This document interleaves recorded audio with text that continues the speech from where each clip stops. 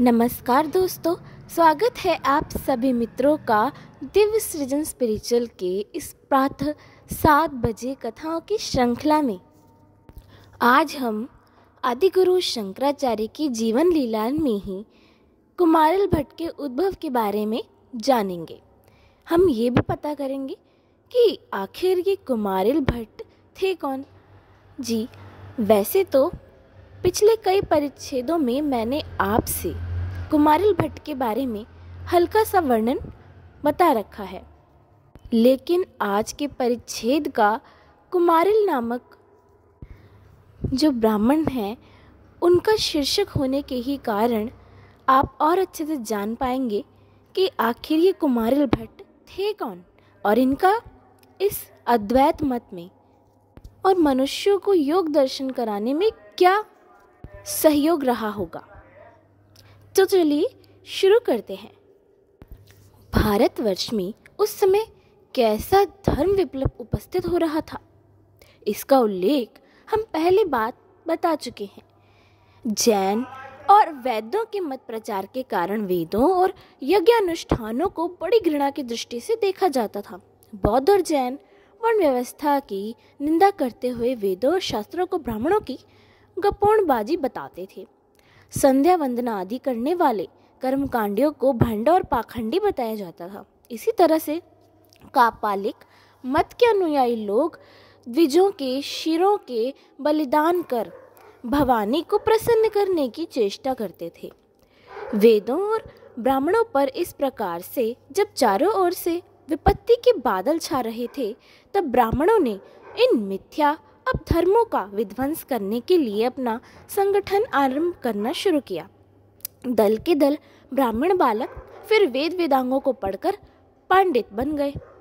उस समय ब्राह्मणों के वैदिक धर्म की रक्षा के लिए सबसे पहले ये कर्तव्य निश्चित किया कि कुछ भी हो, हमको वेदों के अध्ययन अध्यापन में ही अधिक तत्परता दिखानी चाहिए। इसी समय कुमारिल नाम के एक तेजस्वी ब्राह्मण युवक का आविर्भाव हुआ। कुमारिल का जन्म स्थान कौन सा था? उन्होंने कौन से ब्राह्मण वंश में जन्म लेकर उसको गौरान्वित किया? ये तो सब ज्ञात होना कठिन ही नहीं नितान्त असंभव है, क्योंकि भारत के श्रृंगलावध इतिहास का कभी संलग्न ही नहीं हुआ। लेकिन शंकर दिग्विजय आदि से जो पता लगता है, उसका मर्म यही है कि कुमारिल भट्ट ने नियम पूर्वक ब्रह्मचर्य व्रत का पालन कर अनेक शास्त्रों को पढ़ा। वेदों का अच्छी तरह से विश्लेषण कर उनके वास्तविक मर्म को हृदय हृदयंगम किया। कुमारिल दर्शनों के भी अद्वितीय विद्वान थे। वो तपस्वी और तेजस्वी भी इतने थे कि निकट पूर्व से लेकर अब तक उनकी समानता करने वाला कोई त्यागी, दृढ़ प्रतिज्ञ ब्राह्मण इस भारत भूमि में फिर उत्पन्न नहीं हुआ। कुमारिल ने ये तैयारी नास्तिक बौद्ध और पिशाच कर्मा वामियों के धर्मोच्छेद के लिए की थी। बाल्यावस्था में ही कुमारिल ने यह प्रण किया था कि मैं इन अपधर्मों को विध्वस्त कर वैदिक धर्म की दोबारा से स्थापना करूँगा। सूत्र शास्त्रों में अपूर्व योग्यता प्राप्त कर कुमारिल ने यथा समय अपना कार्य आरंभ किया। उस समय, ये उस समय की बात है जबकि शंकर नितांत बालक थे। शास्त्रों में कुमारिल की जैसी गहन गति थी, वैसी ही उनकी सत्यता में दृढ़ विश्वास रखने की इच्छा थी और दृढ़ विश्वास था। अपूर्व विद्वान होने के कारण ही पंडित समाज ने कुमारिल को भट्टपात और सूत्रनयन की उपाधियों से विभूषित किया था। कुमारिल भट्ट ने जब वैदिक धर्म के प्रचार का काम शुरू किया, उस समय बौद्धों की ही चारों ओर तूती बोलती थी। कुमारिल भट्ट आर्ष शास्त्रों के तो विद्वान थे, लेकिन बौद्ध और जैन शास्त्रों से अनभिज्ञ होने की वजह से उनके प्रचार कार्य में बड़ी बाधा आती थी। इसलिए छंदन देशधारी और बौद्ध विद्यार्थी का रूप धारण कर कुमारिल भट्ट ने बौद्धों की एक प्रधान पाठशाला में प्रवेश किया और थोड़े ही दिनों में परिश्रम से उनके शास्त्रों के मर्म को अच्छी तरह समझ लिया। एक दिन की बात है कि कुमारिल भट्ट बौद्ध पाठशाला में बैठे हुए अध्ययन कर रहे थे और भी अनेक छात्र बैठे पठन पाठन निमग्न थे। इसी समय कोई प्रसंग उपस्थित होने पर उनके बौद्ध गुरु वेदों की निंदा करते हुए वैदिक धर्म को भंडों का धर्म बताने लगे। कुमारिल ने भी बौद्ध गुरु द्वारा होती हुई वैदिक धर्म की निंदा को सुना, लेकिन कुछ धैर्य का अवलंबन करने पर भी आत्मसंवरण नहीं कर सके। सहसा उनके नेत्रों से अविरल अश्रुपात होने लगा। इस अश्रुपात को देखकर उनके सहपाठी छात्रों और स्वयं गुरु को कुमारिल पर संदेह हुआ और उस दिन से वे एक संदिग्ध छात्र समझे जाने लगे। बौद्धों ने इस बात को अंत में अच्छी तरह से समझ लिया कि यह वैदिक धर्मी ब्राह्मण है और हमारे शास्त्रों के मर्म को समझने के लिए ही पद्म रूप धर्म छद्म रूप धारण करके इस पाठशाला में उसने प्रवेश किया है। अब बौद्ध लोग कुमारिल से सशंगित हो, उन्हें अपना परम शत्रु समझकर यानी उनको शंकाल दृष्टि से देखकर, उनको अपना शत्रु समझकर पाठशाला से निकाल बाहर करने का कोई उपाय सोचने लगे। अंत में अकस्मात यानी अचानक से एक दिन ऐसी घटना घटित हुई कि उससे बौद्धों की इच्छा भी पूर्ण हो गई। बात ये थी कि कुमार भट्ट एक दिन एक ऊँची दीवार पर बैठे हुए कुछ विचार कर रहे थे। इसी समय वे बुद्धि और छात्रों ने पीछे से आकर उनको धक्का दे दिया। पहले तो एक बार अहिंसा अहिंसा की तुमल ध्वनि करने वाले बौद्ध छात्रों पर एक कुटल दृष्टिपात किया और तुरंत ही यह कहकर नीचे गिर पड़े कि यदि वेद सत्य हैं तो मुझे कौन मार सकता है? दीवार पर से गिर पड़ने के कारण कुमारिल भट्ट की एक आँख सदा के लिए जाती रही। लेकिन लेकिन कुमारिल ने इसकी कुछ भी परवाह नहीं की और क्योंकि उन्होंने छद्म वेश धारण कर बौद्धों की पाठशाला में अध्ययन किया था, इसलिए इसे भगवान का दिया दंड समझा। वे लोगों से कहा करते थे कि मैंने बौद्धों का, बौद्धों को धोखा देकर उनकी पाठशाला में अध्ययन किया था, इसलिए भगवान ने मुझे ये दंड दिया है। इसके बाद बौद्धों के धर्म के मर्म को पूरी तरह से समझकर कुमारिल भट्ट ने फिर वैदिक धर्म का प्रचार करना शुरू किया। कुमारिल सारे देश में भ्रमण कर बौद्धों के मत का घोर खंडन और वैदिक धर्म को महत्वता का, वैदिक धर्म की महत्वता का प्रतिपादन करने लगे। अनेक जगह बौद्धों से कुमारिल का शास्त्रार्थ होता युक्ति और तर्क तथा प्रमाणों की झड़ी लगाकर और बौद्ध पंडितों को अवाक कर देते। सर्वसाधारण दक्षक श्रोतागण इस अद्भुत दृश्य प्रकर प्रतिभा और प्रगाढ़ पांडित्य को देखकर मुग्ध हो जाते। इसी प्रकार से शास्त्रार्थ करते और बौद्धों की पोल खोलते हुए कुमारल भट्ट प्रसिद्ध बौद्ध राजा सुधनवा की राजधानी में पहुँचे। राजा सुधनवा बड़े विद्वान थे, परंतु हो गए थे बौद्ध धर्मानुयायी। उनके गज दरबार में अनेक बौद्ध पंडित भिक्षु और श्रवण रहते थे। कुमारिल यही सोचकर, सुधनवा की राजधानी में आए थे कि किसी प्रकार से सुधनवा राजा के परमात्मक धर्म विश्वास को हटाकर वैदिक धर्म बनाया जाए। राजा सुधनवा वैदिक धर्मी हो जाने से वैदिक धर्म के प्रचार में बड़ी सहायता मिलेगी, क्योंकि राजा सुधनवा के उत्साह की बड़ी प्रशंसा सुनी जाती थी। अस्तु, उनकी राजधानी में पहुंचकर उन्होंने एक मंदिर में डेरा डाला और शास्त्रार्थ के लिए सुयोग देखने लगे। एक दिन कुमार भट्ट स्नान करके चुपचाप राजमहल के नीचे से होकर जा रहे थे कि एकाएक उनके कानों में आवाज़ पड़ी। क गच्छा में की करोमी, को वेदानुधरिष्यति। इस व्याकुल वाणी को सुनकर कुमार भट्ट अवाक रह गए। एकदम सुन्न। वे सोचने लगे कि इस नास्तिक पूरी में और भी कोई प्राणी है, जिसे वेदों और वैदिक धर्म की उद्धारिका, उद्धार की चिंता है, लेकिन तुरंत ही उन्हें एक पथिक से पता लगा कि सुधनवा राजा की बेटी वैदिक धर्म अनुयायी है। वो रात दिन इसी चिंता में व्याकुल रहती है, वेदों और वैदिक धर्म का उद्धार कैसे हो? क्योंकि इस राजनगर में तो बौद्धों की नास्तिकतावाद के ही बोलबाला है। यहाँ तक कि इसके माता पिता भी बौद्ध मतानुयायी हैं। पथिक की आश्चर्यचकित करने वाली बात को सुनकर अत्यंत उत्साहित उन्होंने वहीं राजमहल के नीचे खड़े होकर बड़े ज़ोर से कहा, माचिंत बारा, माचिंत बरारोहे भट्टाचार्योस्मी भूतले। महाराज सुधनवा की पुत्री पहले से कुमार भट्ट की प्रखर बुद्धि, प्रगाढ़, विद्वता और वैदिक धर्म प्रचार की तत्परता की प्रशंसा इसने सुन रखी थी। उसने यह भी सुन रखा था कि कुमार भट्ट आजकल इस राजधानी में आए हुए हैं। सुतरा, उसका विश्वास भट्ट की इस मर्मवाणी को सुनकर और भी पक्का हो गया। राजकुमारों ने तुरंत पंडित राजकुमारी ने जल्दी से पंडित कुमारल भट्ट को अपनी दासियों और राज महल में बुला भेजा। कुमारल भट्ट के राज अंतपुर में पहुँचने पर राजकुमारी ने उनकी चरण धूली ली। इसके बाद बौद्ध पंडितों से शास्त्रार्थ करने के संबंध में बहुत देर तक परामर्श होता रहा।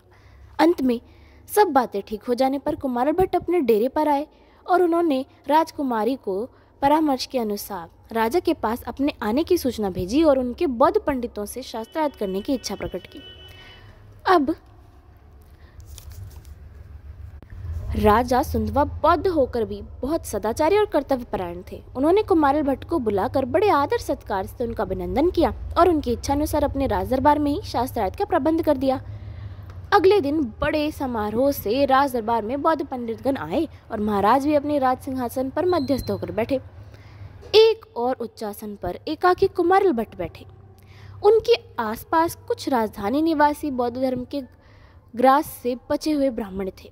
आरंभ में ही कुमारल भट्ट ने एक आम के वृक्ष पर बैठी कोयल की मधुर वाणी को सुनकर कहा, मलिनश्चैन संगस्ते निचह कावकुलह पिका, श्रुतिदूपक निहारदह श्लाघनीयस्त दामवे। तात्पर्य ये है कि हे मधुर कंठी कोकिल, यदि तू श्रुति कठोर ध्वनि करने वाले इन कौवों का संग छोड़ दे तो तू प्रशंसनीय हो जाए। इस श्लोक का सीधा साधा अर्थ तो यही है कि कोकिल, यदि तू इन कौवों का सहवास और मेल मिलाप को छोड़ दे तो तेरे इस मधुर रव में और भी स्निग्धता आ जाए। तुझे और भी अधिक गौरव प्राप्त हो। इसका दूसरा व्यंगपूर्ण अर्थ ये था कि हे कुलशील और बुद्धिमान राजन तो वैसे तो सदाचारी, कर्तव्य पालन करने वाला शिष्ट है। लेकिन अगर तू इन नास्तिक, निरीश्वरवादी, श्रुति स्मृति और वेदों की निंदा करने वाले बौद्धों के झुंड में न हो तो कितना अच्छा होता। बौद्ध पंडितों के दिल पर इस मर्मस्पर्शी व्यंगों की को सुनकर बहुत ही आग सी लग गई। उन्हें ऐसा होने लगने लगा कि जैसे भयंकर विषधर सर्प ने काट लिया हो। खा, अब वो क्रोध से उनके मुखमंडल सबके लाल हो गए। नेत्रों से भीषण अग्नि उनके गिरने लगी। लेकिन इस प्रकार की भाव भंगिमा सत्यव्रती कुमारल भट्ट पर क्या प्रभाव पड़ सकता था? अंत में शास्त्रार्थ शुरू हुआ। बौद्ध पंडितों ने कुमारिल को उत्तेजित करने के लिए पहले बहुत घृणित शब्दों में वैदिक धर्म की निंदा करनी शुरू कर दी। अब अटल और हिमगिरी की तरह से अचल कुमारल भट्ट ने युक्ति, तर्क और अटाक्य प्रमाणों से साथ, प्रमाणों के साथ उनके प्रश्नों का उत्तर देकर बौद्ध धर्म के शुष्क शून्यवाद और निर्वाण के स्वरूप और मौखिक अहिंसावादिता की पोल खोलनी शुरू की। जब बौद्ध पंडित शास्त्रार्थ में कुमारल भट्ट का मुकाबला नहीं कर सके तो अपने शून्यवाद की छीछा लेदर कराने के लिए ही छोटी छोटी बातों पर उतर आए। राजा की आज्ञा से बाहर से बाहर से अनेक प्रसिद्ध विद्वान बौद्ध पंडित बुलाए गए। नाम्बरवार कुमार भट्ट ने सबसे शास्त्रार्थ किया। अंत में पराजित होना पड़ा। बौद्ध पंडितों के मुँह सूख गए। चारों ओर वैदिक धर्म का जय जयकार होने लगा।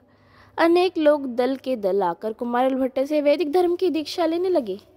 इस अपूर्व और अद्भुत व्यापार को देखकर बौद्ध पंडित क्रोध से उन्मत हो उठे। उन्होंने कहा कि यदि वैदिक धर्म और वेदों में इतनी सत्यता और करामात है तो तुम उसकी परीक्षा दो।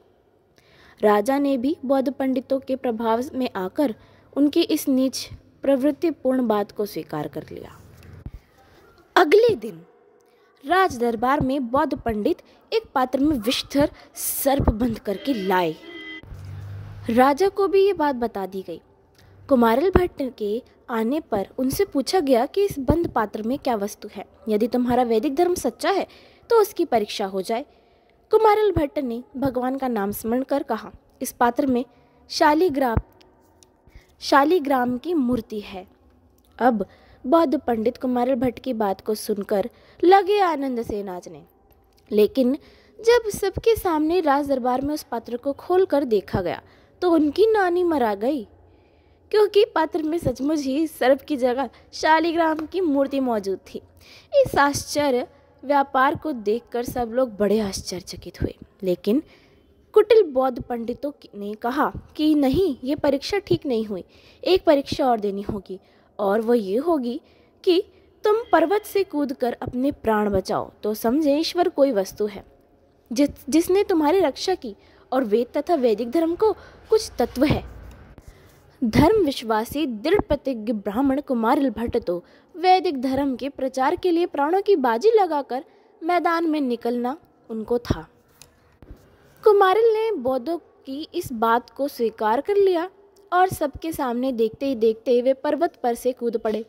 कूदते समय उन्होंने कहा था कि यदि वेद और ईश्वर सत्य है तो मुझे कौन मार सकता है? पर्वत पर से गिरकर कुमारिल भट्ट के एक पाव में गहरी चोट लगी, जिससे वो कुछ लंगड़े से हो गए।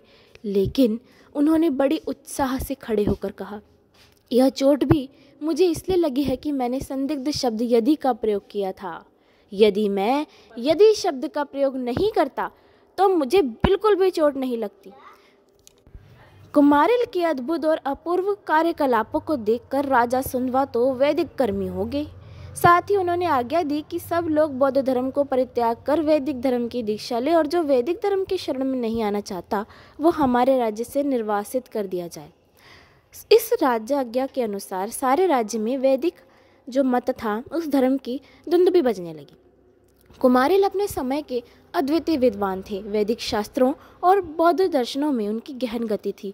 इसके सिवा कुमारिल भट्ट में आत्मगौरव और आत्मविश्वास की मात्रा बहुत ज़्यादा अधिक थी। वेदों और स्मृतियों और ईश्वर पर उन्हें इतना विश्वास था जितना कि अपने अस्तित्व पर। कुमारिल भट्ट ने जैमिनी के मीमांसा शास्त्र पर वार्तिक लिखे और अश्वलायन गृहस्थों पर वार्तिक लिखे। अश्वलायन गृह हस्तसूत्रों पर। उन्होंने अनेक अलंकारों को जो शास्त्रों में आते हैं, उन्हें स्पष्ट किया है। कुमारिल भट्ट की अंतिम परीक्षा तो इतनी व्याकुल कर देने वाली है कि संसार के इतिहास में उसका कोई उदाहरण नहीं मिल सकता। हम अगले परिच्छेद में इसी का वर्णन करेंगे। तब तक के लिए आप सभी को बहुत बहुत धन्यवाद।